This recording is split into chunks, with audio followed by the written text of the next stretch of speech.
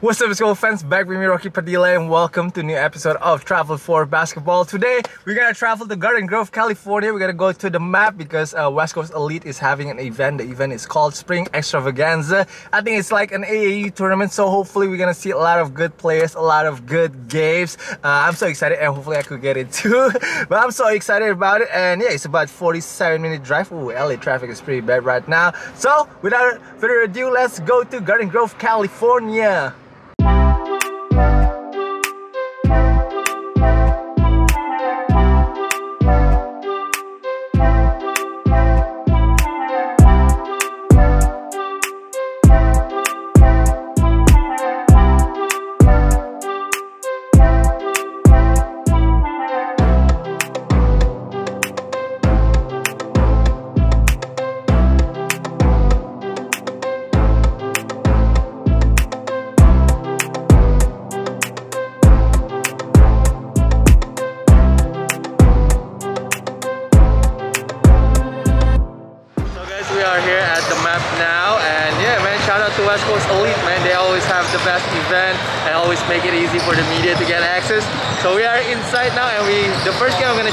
Victorious Miller game with the AOSS Prep School. So yeah, let's go ahead and check out the game now.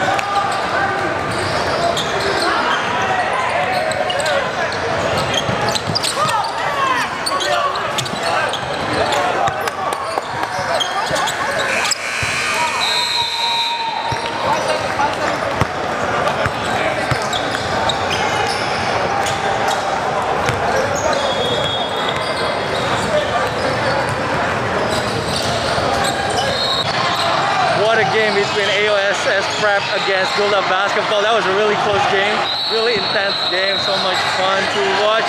And number zero from Build Up was pretty good too. And Victorious Miller, as usual, killing it.